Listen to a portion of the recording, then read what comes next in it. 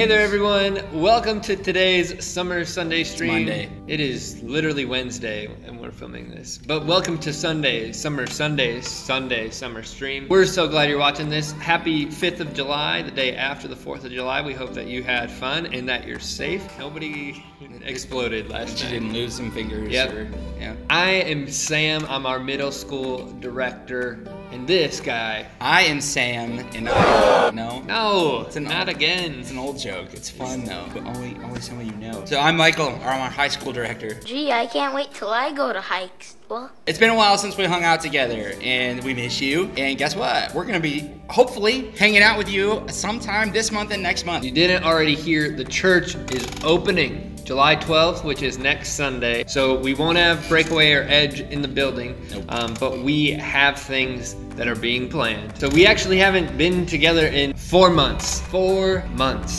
This is crazy. That Some- is, some of them have probably like grown. yes. Probably some of you, you know, your voice has changed. You might be shaving like that one little hair on your face right there, Uh, Each razor has stainless steel blades. or just let it grow. Just let it. let it grow, let it grow.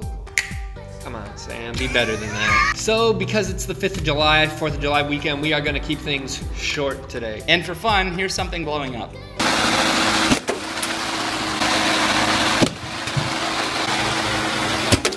I'll show you a great way to play Piano Man. First, start with D, then D with C sharp in the bass, then B minor, then douse it with gasoline.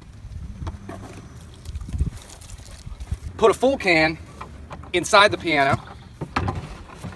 Duct tape a flare to your lawnmower. Start it up. And send it the piano.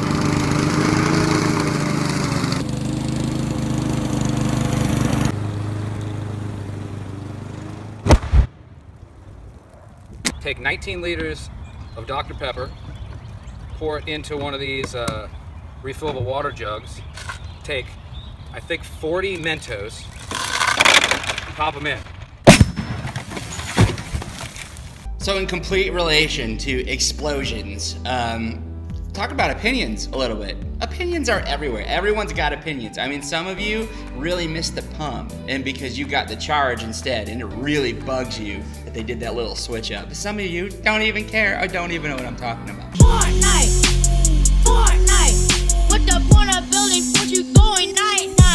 We all got opinions, and some people like to give them, right? You know people that do. They like to give them, they give them loudly. Well done to you, and well done to you. I can't believe just how inconsistent you are.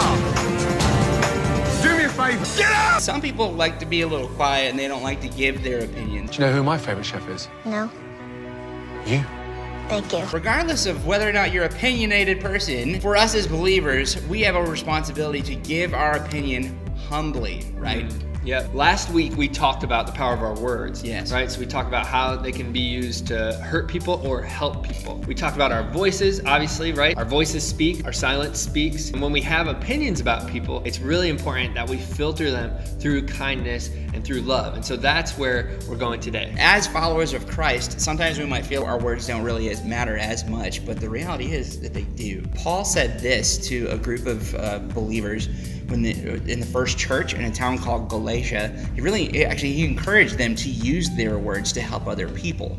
Uh, he said this If another believer should be overcome by a sin, you who are godly should gently and humbly help that person back onto the right path. I love this verse because it does a couple things for us. It helps us know how to help others, but it also helps us know how to be helped. I love that it, the, the keys here are to be gentle and to be humble. I think most of us know what it's like to be helped when it when it feels helpful and when it is helpful, but also maybe sometimes when it's not so helpful. You're not helping!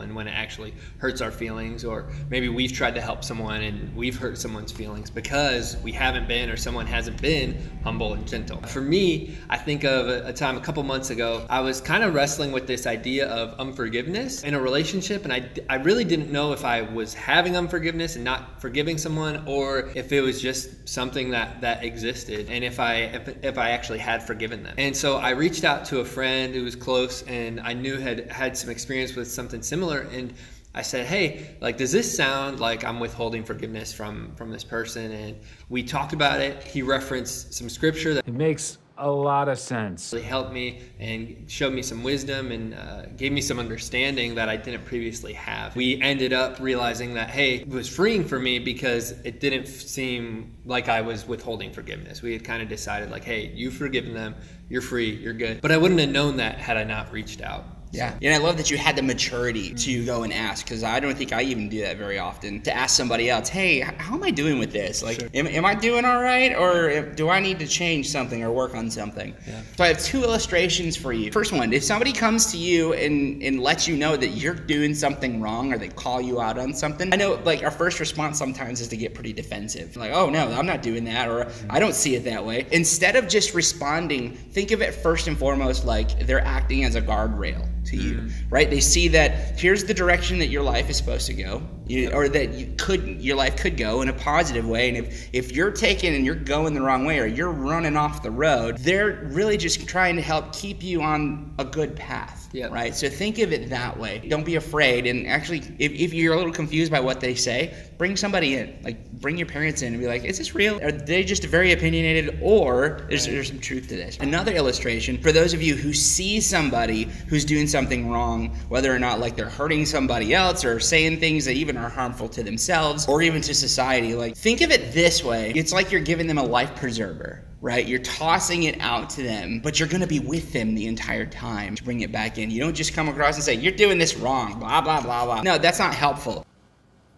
That is a good point. That you're throwing a life preserver at them and knocking them in the head. No, don't do that. The thing about a life preserver is like once you've given it to somebody and you're trying to help them, you're going to stay with them the entire time Yeah. until they're back on the boat. Yep, that's awesome. I love that. Those are two really great pictures for us, for all of us to, to have in our heads when it comes to thinking about how to help others and how to be helped and receive help. I think of, I've been going to the playground a lot lately uh, with my daughter Nora, and she's like small enough where she can like kind of fall off the playground. So I, I kind of keep my distance not too far away. And I'm serving like I'm there as her guardrails.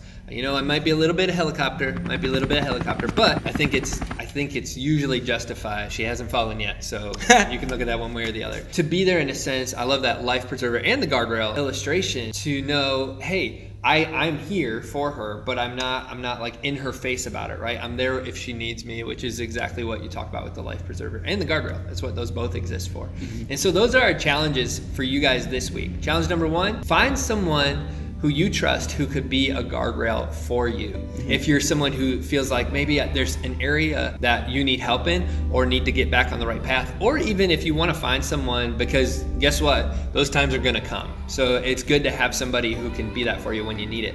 And then the other challenge is on the helping side. So find someone maybe who you can throw a life preserver to this week because there's everybody needs help. And like I said, at some point we need help, you need help. So if you can be that for someone else and they know that you're there, that is an awesome way to reflect the love of Jesus. All right, so enjoy your Sunday. Breakaway, there is no Zoom chat today. Don't forget, next weekend, church starts uh, starts up, so we might see some of you there. But if we don't, stay tuned because we would love to see you at our Breakaway and our Edge events throughout the rest of summer. Yep. So have a Coming great up. day. We'll see you.